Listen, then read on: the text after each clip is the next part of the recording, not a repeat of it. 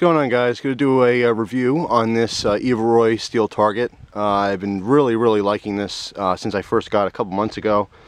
It's been fantastic and in my opinion far surpasses shooting paper in many respects. I mean paper still has its place and I'll talk a little bit more about uh, an option to shoot paper with this with this target as well. But anyway right now I'm just going to be doing some demoing, having some fun. First gun I'm going to be using here is the Walther P22. I'm shooting some uh, CCI Stingers here. And that's all. But this first view I'm going to give you of the target. So let me uh, zoom in here. So you can see that uh, lead slapping the, uh, the steel here. Well, let me back out just a little. There we go. Alright, so here we go.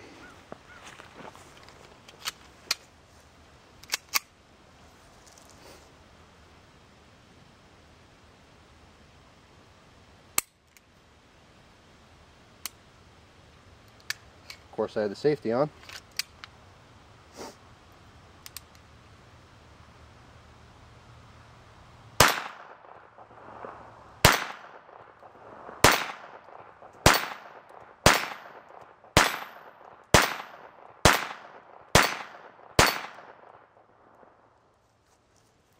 There's 10 rounds. Let's get a new magazine here. And let me I'll give you another view here. Hopefully you saw those hitting. You can hear it. Uh, you don't hear it as loud uh, as you do like when you shoot 9mm or 45. Um, but anyway, let me turn the camera. I'm having some uh, tripod difficulties today, so I can't extend it really high. So this is going to be kind of a weird angle. But anyway, you'll get the point. Alright, hopefully you guys can see this. Another 10 rounds. Here we go.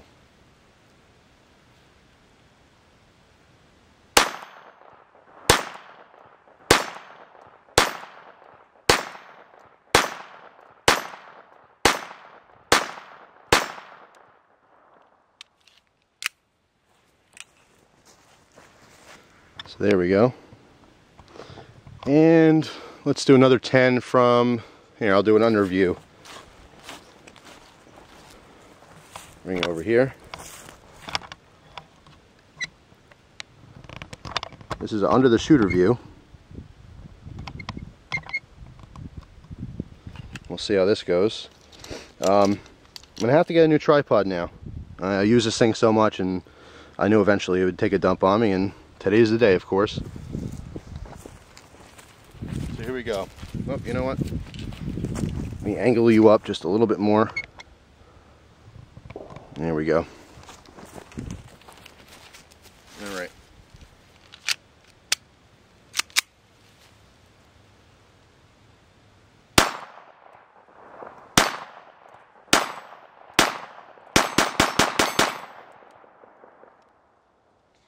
Love the target. Like I said, with the uh, steel, you get that instant feedback with the noise. Really, really cool though. Um, love the Walther P22. Great cheap gun to shoot.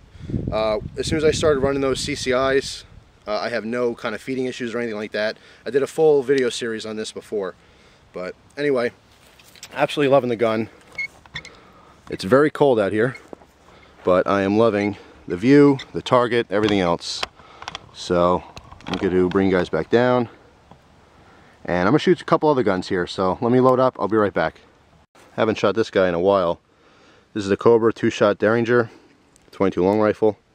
Just have some Winchester loads here. Pop these in, try this on the Evil Roy target. Alright, safety's on, fully cocked, and here we go. Again, sorry for the weird angle. I'm just to have to squat down a little bit when I shoot because I don't want to keep angling this way up. It's kind of funky looking. But anyway, is a kneeling Derringer shot. Safety's off. Oh, we hit steel. Two for two. Safety's back on. There's our empty shells. Fun little gun, very cheap. I think the prices actually went up on, on these, but they're now still under uh, 150 bucks. So fun little gun. And right now I'm not too far from the target. I'm probably, here, let's turn you here. Alright guys, I temporarily fixed my tripod so I can have a normal viewing angle here.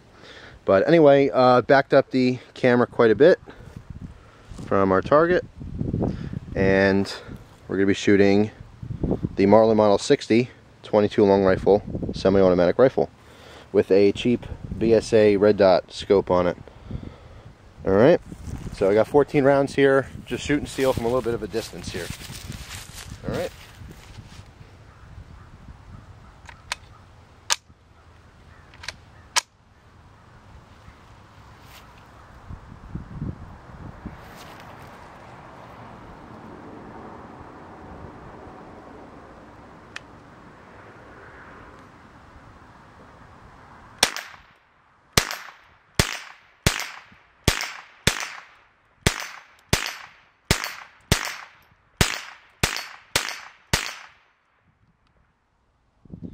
Man, is that cool. I'm shooting this at 75 yards, so let me back out here. And you can see there's an ATV there. No, I'm not going to shoot it, don't worry about it. I'm also shooting through some uh, hanging willow branches. But let's see if you can hear the steel slap from here.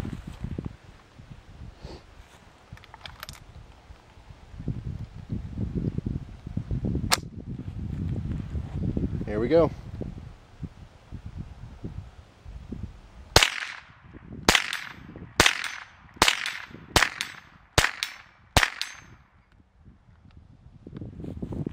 Too shabby. Very accurate gun, very cool target. Let's uh, let's move back even farther.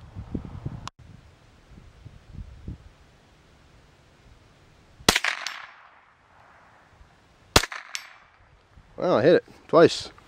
What you're looking at here is the Action Targets Evil Roy target. Uh, this is a steel target. It is by far my favorite new target. I've been shooting paper ever since I got in the guns. And the second I got this thing, um, uh, I just, I can't go back to paper. I do shoot paper occasionally. Uh, paper is definitely great for more accuracy and if you want to really sight a gun in, you can't really do it on steel. Um, if you want to go for real, really just for accuracy shooting, you're going to need paper. Okay, it's obviously more specific to your shots. Um, this is great for any kind of actual training, you know, gunfighting training, defensive training, stuff like that. If you're a CCW holder, um, this is a great, great uh, target to have. Um, like many people have said before in different videos, you get instant feedback. I mean, when you shoot this, when you hit it, you hear it. Okay, you don't have to shoot, you're not shooting paper, then you don't really know what's going on until later. You walk up on your target and look closer, and then you gotta, you know, tape up your holes and go back and waste a lot of time doing that. This really is great. It's extremely responsive to you. It's very portable, this thing. It's, uh, it's not super, super heavy. Um, I'll annotate the weight because I don't remember it offhand.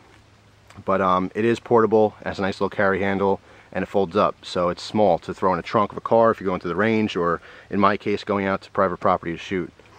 But uh, anyway, I've been shooting this with pretty much every gun that I own. Uh, everything from a little 22 short all the way up to my AK-47. Now, the specific Evil Roy target that I have is the uh, upgraded heavy-duty version, and that's the AR-550 armored steel. And the only difference between the 500 series and the 550 is the 550 is a little heavier duty and it will take rifle rounds. Now I can't shoot rifle rounds right up on it. I only shoot from about 100 yards away. Um, and even then, with my AK, I don't always hit the thing. but uh, when I do hit it, it doesn't really cause any damage from that distance. Um, this specific target was uh, $135 plus uh, $30 for another attachment. Now, a lot of people have a hard time going to steel because they do like their paper targets. What I really like about this, let me get to the side here, is the uh, interchangeable heads. It's not welded together. All you have are two bolts and two wing nuts here, okay? Just by taking these off, just like that, two seconds, you can take the whole head of the plate off here, okay? You put that to the side if you wanted. And now, for another $30 from the website. I think it's a great addition if you do prefer paper, is you throw on this. Okay, let me put this on, then I'll explain it.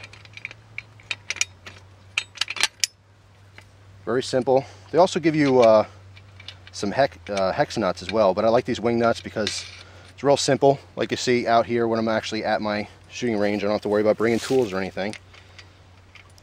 So just throw those on, tighten it down. And what is this, you may be asking? Well, this is basically a clamp, okay?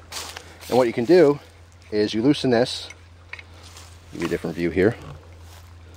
You loosen this up and then you could put your wood in here, like your little, you know, you know, two by fours or whatever you want to put in there. And of course, because it does have a, uh, a bolt through here, it, you know, expands and contrasts enough where you can put something very small in here, a small piece of wood, uh, or something a lot larger. And what's cool about this is that now you have your uprights, okay?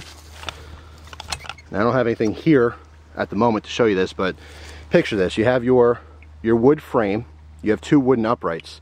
Then all you have to do is staple or nail a piece of cardboard across, and that's it. Now you have your paper target ready. Then you get your actual, your physically paper targets, and you just thumbtack them or staple them to the cardboard, and you're all set. This is a fantastic addition. Um, I have used this twice just for uh, sighting in my guns. Once I sight them in, and I know that everything's good, um, I don't have to worry about it because then I throw the steel plate back on and I, I, prefer that. Like I said, not only do I get the instant feedback uh, when I shoot, but um, it's just a lot easier than having to change out paper and worry about throwing out all those targets and everything. But if you are stuck on paper shooting, which some people are, obviously if you're a competition shooter, you're probably better off suited with the, the steel target because that's pretty much what you're going to be shooting anyway. Um, but if you're really going for accuracy or if you're some kind of a guy who likes to shoot rifle from like 100 yards to 300 yards and you just want to get that really precise group, you can't use a steel target for that. That's where this is going to definitely come in handy. But anyway, let me change this back real quick. As you saw, it's really, really simple to do. I did find that when I'm shooting uh, bigger rounds, these tend to loosen up a little bit. After every 50 to 100 rounds, I come back and I just hand tighten them. But it's not a big deal.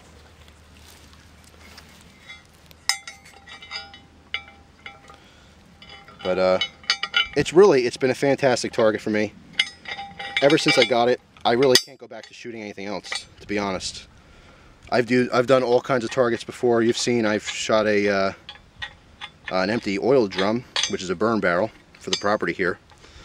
But uh, it's just I, I, I don't really know what to say about it. It's it's a fantastic uh, product. I mean I don't I've never had any experience with any other kind of uh, steel targets before but just from uh, from having fun with this and seeing what this can do uh, and comparing it to other things that are on the market, I think the price is definitely worth it. Um, if you're not going to be shooting rifle at all, you can get the uh, the 500 series version, and that goes for $115, so it's a little bit cheaper. But anyway, one one other note real quick. The sides of these these bolts here, they have a square in them, okay, and the square fits into a square hole inside of this uh, uh, the steel part here. So basically when you're you know turning this down they won't freely spin. So I do like that too. It makes it real easy to, uh, to actually set up. One more thing about this.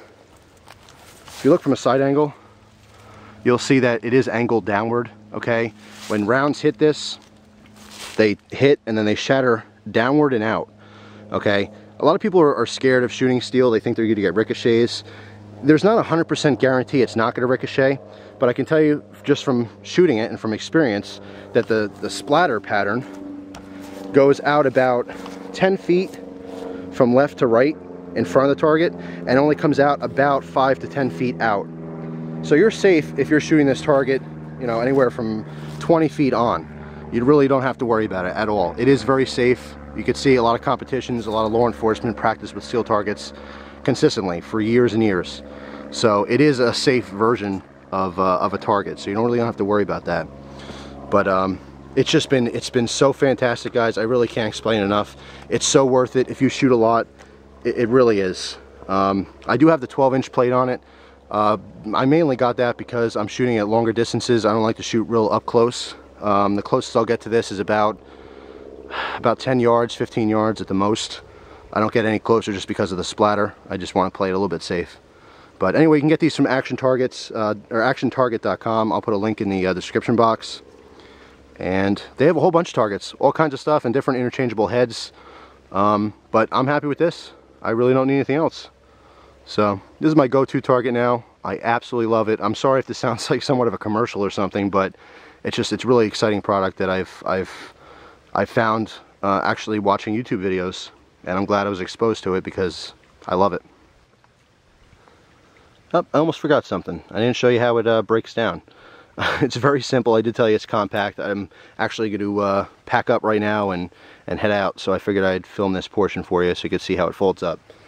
And then, by the way, there also is two different positions. This is the um, higher of the two. The other position will actually be a little bit lower.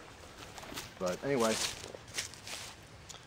this pops up, the legs go in, and then this whole thing actually rotates backwards here. Just like so. And of course this provides you with your carry handle. Um, that's it. Throw it in the back of your trunk and you're ready to go. So, thanks for watching guys. Take care.